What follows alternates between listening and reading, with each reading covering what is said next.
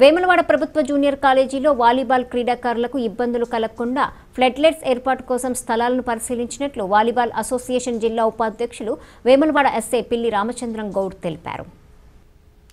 Volleyball కోర్టుకి రాత్రిపూట వెలుగు కోసము ఫ్లడ్ లైట్స్ ఏర్పాటు చేయడం కోసము స్తంభాలు ఏర్పాటు చేయగా ఇట్టి అవకాశంను వాలీబాల్ క్రీడాకారులు సద్వినియోగం చేసుకుని రాష్ట్ర జాతీయ స్థాయిలో మంచి గుర్తింపు తెచ్చుకోవాలని అభ్యర్థులను కోరారు.